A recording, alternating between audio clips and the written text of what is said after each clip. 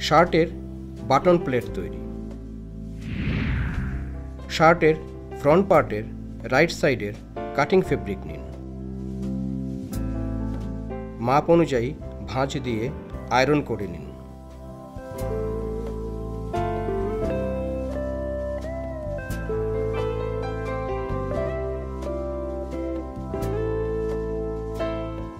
এবার আরেকটি ভাঁজ দিয়ে আয়রন করে নিন।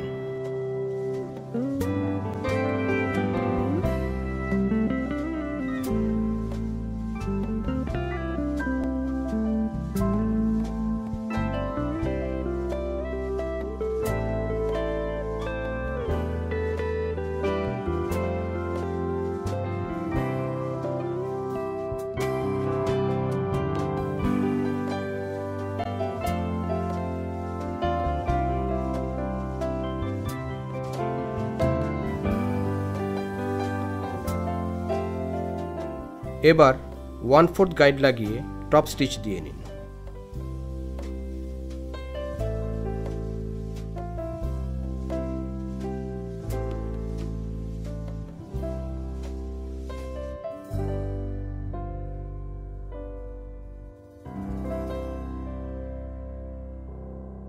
এবার পুরো প্রক্রিয়াটি আবার দেখুন।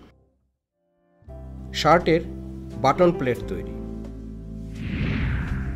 শার্টের ফ্রন্ট পার্টের রাইট সাইডের কাটিং ফেব্রিক নিন।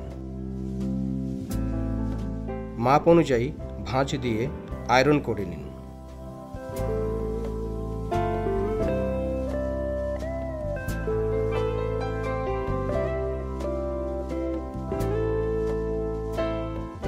এবার আরেকটি ভাঁজ দিয়ে আয়রন করে নিন।